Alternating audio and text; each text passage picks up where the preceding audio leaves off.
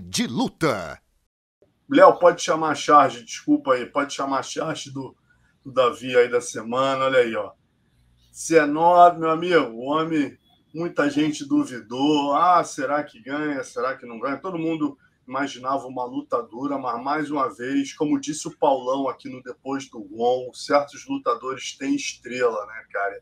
E é impressionante a certeza do Charles, é, como ele entrou, cara, altivo no octógono, né? Como ele entrou certo de que ia vencer. E mais uma vez fez história. O cara simplesmente agora tem 19 é, bônus, né? Pós-luta. É, é, tem 20. É o cara que tem mais finalizações, tem 20 agora. É, é, na verdade, 20 términos, né? 20 lutas, seja finalização ou nocaute, 16 finalizações né? e 50 testes é, da usada limpos. Né? Aí essa brincadeira do Davi vai até é, em resposta ao que disse o Islam Makachev, né? que essa que essa categoria tem níveis, né? que esse esporte tem níveis. Ele disse isso para o Charles depois. Parabéns, Charles. Mas lembre-se, é, esse esporte tem níveis. Está aí, ó. Olha o nível do cara, né? Olha a quantidade é. de níveis que esse cara sobrepôs. Então, do Charles a gente não pode nunca duvidar, né, Carlão? Nunca duvidar. E vou te falar, se o Charles entrar tão confiante, tão forte, estiver bem treinado, é, é, fazer a luta inteligente contra o, o Marchev, né? Porque muita gente, cara, vou te falar, cara, é, eu falava isso, se vocês pegarem minhas, minhas falas passadas, eu sempre falei, cara, o Marchev não é Nurmagomedov só, ele, ele, ele não é apenas o Father's Plan, ele também tem luta em pé.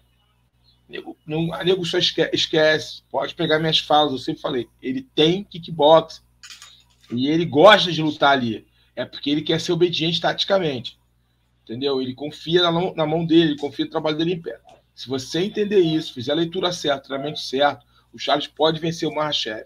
E se o Charles vencer o Mahashev, eu não vou é, é, dizer, eu não vou dizer, não, não vou é, me furtar a dizer, melhor colocando, eu não vou é, limitar aqui a minha fala em dizer, ele vai ser o maior lutador peso leve de todos os tempos. Pô, tem, tem mas, até o alguém... mas, mas, o Nurmagomedov, ele, o Nurmagomedov é um craque. O Nurmagomedov é uma hora hoje em dia, mas o Charles vai ter feitos, vai ter de perder cinturão, retornar cinturão, pegar todos os top 5 e finalizar e destruir. E, cara, que não tem dúvidas. Ou o Mahashev volta da aposentadoria e desafia o Charles para um vai dizer que é o melhor real, né? seria interessantíssimo, seria algo assim de é, quebra de recorde de bilheteria, não é? Seria algo fenomenal, mas eu acho que não vai acontecer. Mas se o Charles ganhar o Mahachef, dominar o Mahachef, vencer o Mahachef, cara, não tem muita discussão, não, cara. É, não, é Brasi não, é, não é bachecagem, não.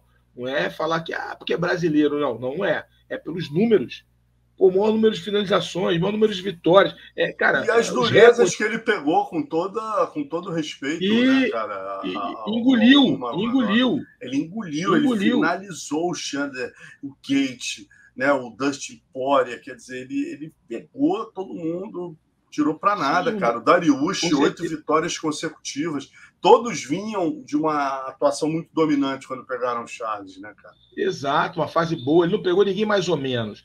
É, é, é, e, e, as derrotas que ele teve oportunidade de, de, de, dar o troco, ele deu o troco, como no Jim Miller, por exemplo. Então, quer dizer, é, sem exageros, ah, eu sou um cara muito pé no chão nesse aspecto, mas se ele ganhar uma Rachev, ganhar uma forma dominante, é uma incontestável, cara, é, a gente entra nesse assunto sim. Se ele é ou não o maior peso leve de todos os tempos. Vamos ter que entrar nesse assunto porque a trajetória dele, os recordes dele, vão falar por si só.